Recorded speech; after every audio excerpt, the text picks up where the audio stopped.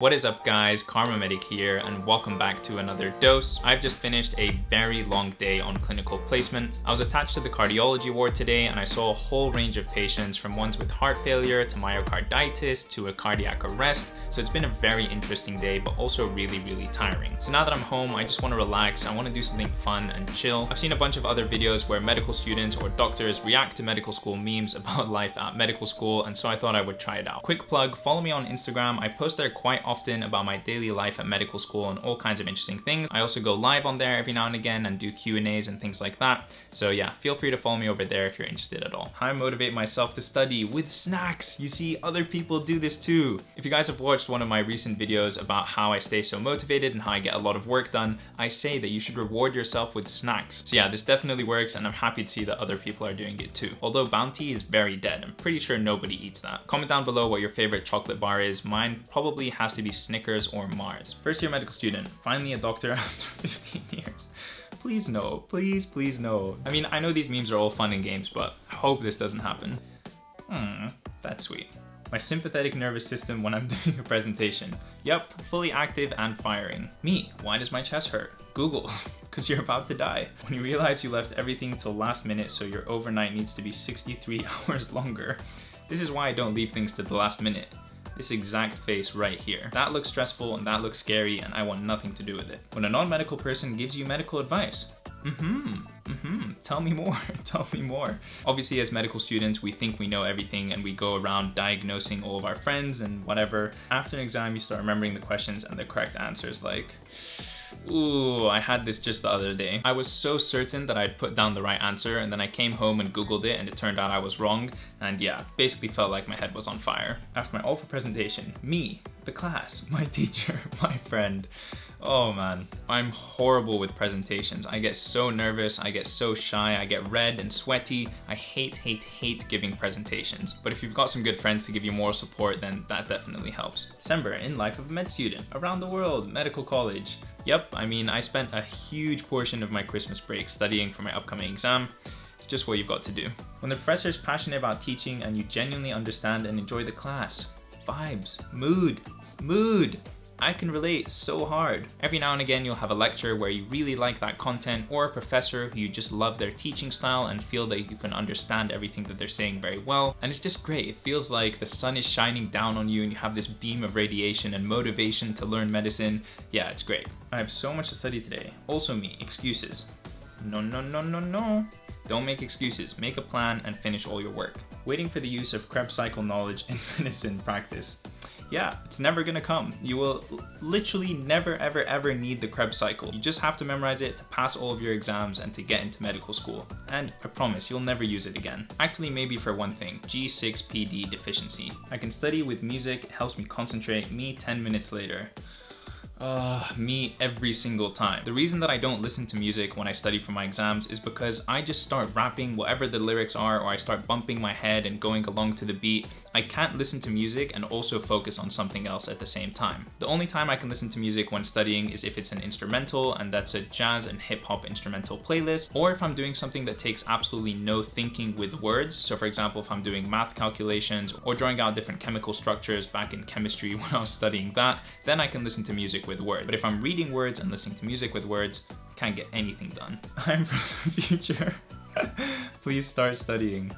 That's a good one. When you incorrectly self-diagnose yourself with the help of Dr. Google and WebMD.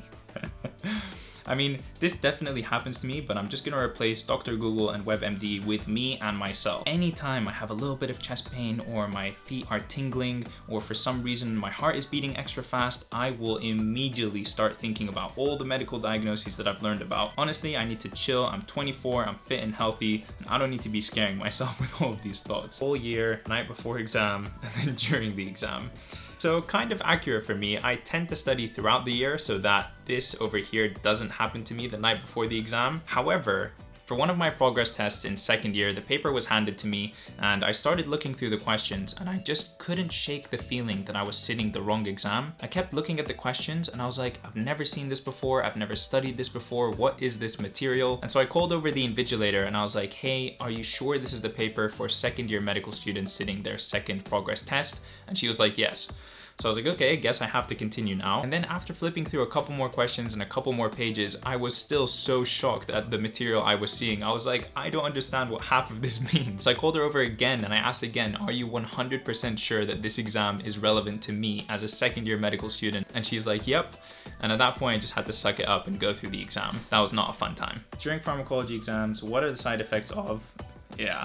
Basically, almost all drugs will have side effects of nausea, vomiting, and diarrhea. So if you don't know the answer to the question, that's probably your best guess. When you wake up in the morning and it feels like you only slept for eight minutes, Oh my god, all too often, way, way, way too often. Especially if I'm going to placement, I end up waking up at around 6 a.m. and then have like an hour and a half of traveling to do, so I feel like this all the time. Thought medicine is all about studying for five years. No son, it's five zero, 50 years.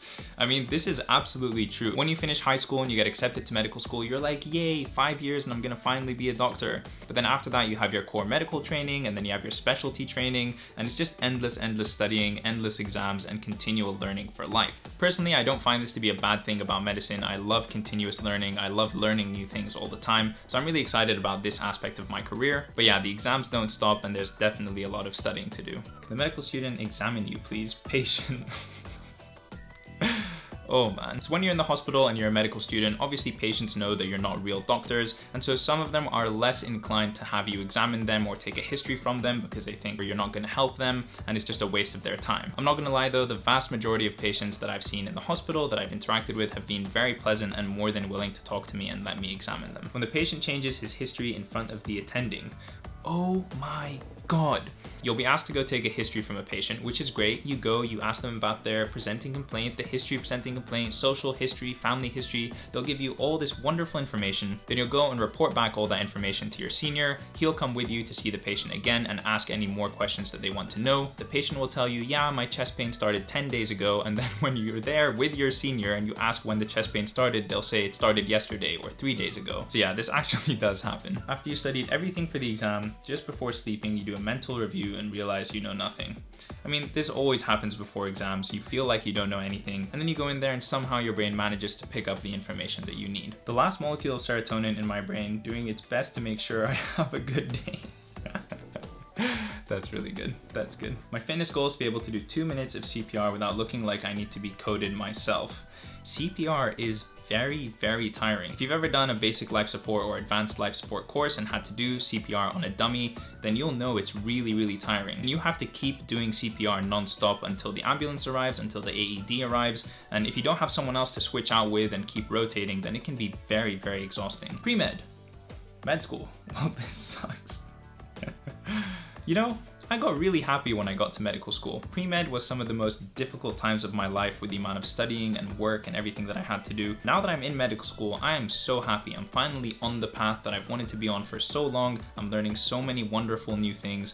It's amazing. Multiple choice questions be like, Oh my. So in my undergraduate degree, we had multiple choice questions where only one out of the five responses was correct. However, in medical school, we have what's called single best answer questions, which means that more than one of the answers can be correct. It's just about which one is more correct or which one you need to do first. And this is so frustrating in our medical school exams because I'll eliminate three out of the five answers and be left with two, which are both completely correct and both of which I've studied for and I know are potential answers to this question. But of course, one of them is more appropriate for the patient or more of a the correct thing to do at this current time and you just have to choose what you think is best. I think I should study on my bed so I can rest my back. Okay, very, very relatable. I have had back problems for as long as I can remember now. And so in order to alleviate that back pain, I would often go to my bed and try and do some studying there. But inevitably after 10, 15, 20 minutes, I would get so sleepy, I just have to move right back. That's a good one. Me trying to enter medical school. Squeeze in. You can do it, buddy. Beat out the competition. Get those good grades. Do your work experience. Come on. Go, go, go. Applying to medical school. Let me in, let me in, let me out, let me out. It's a lot of work, it's a lot of work, but I promise it's worth it and it's very, very fun. All right, guys, this video has gone on for quite a while now. This is definitely the pick-me-up that I needed today. I'm in a much better mood. Hope you guys are having a great time at medical school or in high school or university, whatever it is you're doing, working hard toward your goals. I hope you guys are having a wonderful day and I will see you in the next one. Peace.